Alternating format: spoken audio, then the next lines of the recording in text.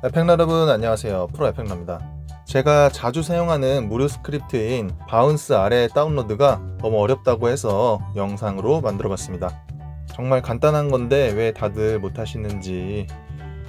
어, 우선 본문에 링크를 들어가 주면 이렇게 맨 아래 주황색으로 다운로드 버튼이 있습니다. 클릭해 주면 이렇게 정보 입력 창이 나오죠. 영 원으로 구매하는 겁니다.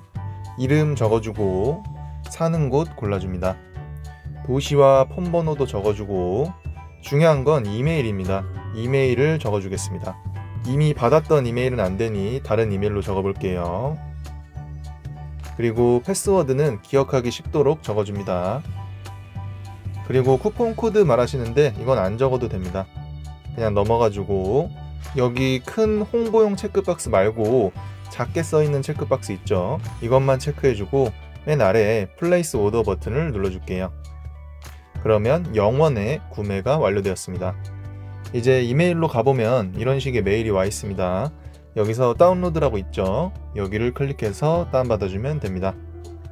사용하는 방법은 영상 올려놓은 거 있으니 그걸 참고하세요.